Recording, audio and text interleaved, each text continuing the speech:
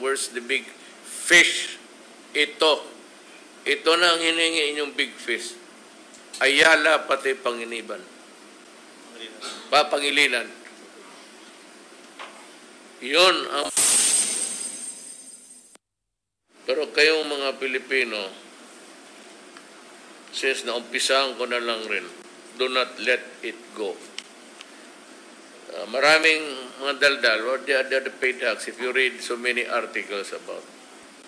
But sinabi ko noon sa kampanya, yung corruption, hindi masyado dito sa uh, custom-custom. Maliliit yan. Sabi ko ang corruption nasa taas. And it was really a sort of uh, na I was elected tapos these contracts which were hidden from the Filipino people and it was only because of their greed. Kaya nung, walang tubig, nagtataka ako bakit walang tubig. So somebody told me may tubig. So I did check it with ano, sa intelligence. Sabi ko, silipin mo nga. Rumeport niya si sabi niya na may tubig. Kaya sabi ko sa Davao, putang ina kayo pag walang tubig pagdating ko bukas. Pagsasampalin ko kayo. Kasi alam ko may tubig eh. Maglilinya kay sa ko, sasampalin ko kayo. And I will do it. Bahala ko ano sabihin ninyo sa presidente ninyo. Pagdating ko may tubig. So that started. Then the 7 billion that you are trying to collect, puta na sari. 7 billion, shit, I will not pay you even a cent. Ano, nakita ko yung kontrata, ayun, pumutok. So hindi nila alam mag- maging presidente ako. O akala nila that I will just also, you know, they're reaping They've been fucking the, the people for since 1957. Billions, trillions. Yan tubig, water treatment. Ilang ang putang ina nag sa bill ninyo, bayad ka wat- water treatment facility. It was a 1957 contract. Until now, there is no Muli walang isang makina. Walang hiya talaga itong mga mayaman. Sa totoo lang.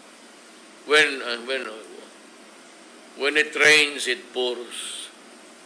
Sasagarin talaga nila ang hindi ko naman isabi man, lahat mayaman. Itong mga kaya sabi ko, I'm saying this because do not let it go. I may not able to arrive at the finish line. Baka hindi ko na maabutan yan. But wag ninyong pwede yan. Sabi ninyo, naghihingi kayo noon ng where's the big fish? Ito. Ito na ang hiningi inyong big fish. Ayala pati Panginiban. Papangilinan. Yun ang yun ang mga tao na walang ka ano ba yan sa Bisaya, kapura. Ngayon ka walang in, insatiable. Walang katapusan.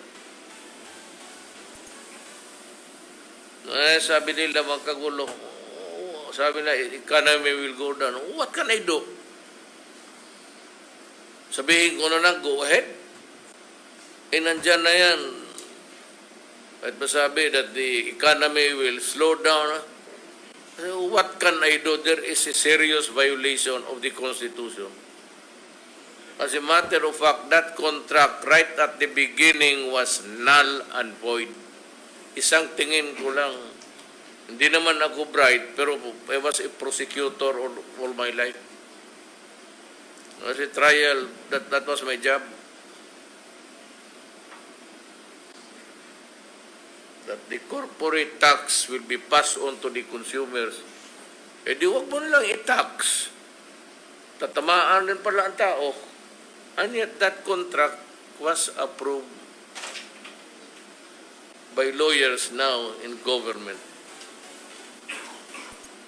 I hope Drilon is not one of them. Kasi when I decide to, ididemanda ko talaga. I will file the charges of it's either plunder or syndic- syndicated tower. Huwag kayong matakot. Mapotol tubig. Hindi yung matakot. Putang ina, I will expropriate, nationalize ko yung tubig. I will take over. Eh, karaming military dyan na marunong. Eh, simple lang man yan.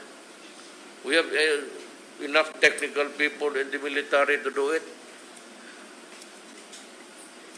Ito take over ko yan. Paghuhulihin ko sila. You know why?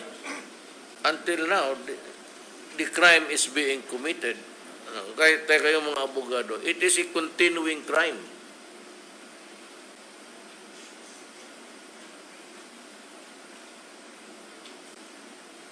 Mga walang hiya itong mga putang. sabi lang galit ako, talagang galit ako. Sabi ko nga eh, tayo mga politiko tayo, magka-diferensya tayo sa ibang bagay, okay lang pwede pa natin pag-usapan. But never kung ang pagtan, eh, eh, kung baya na ang no deal tayo dyan.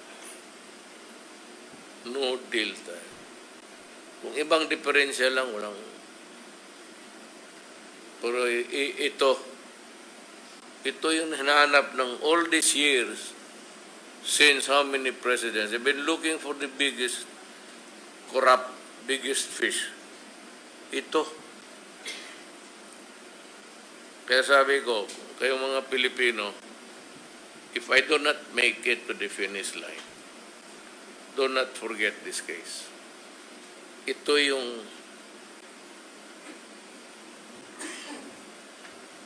And publicly, I will ask the military and the police. See to it.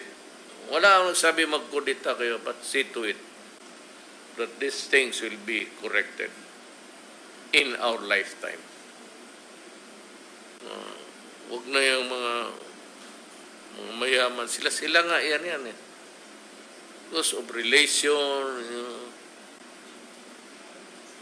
kaya ako hindi ako nagkipag-usap ng tao.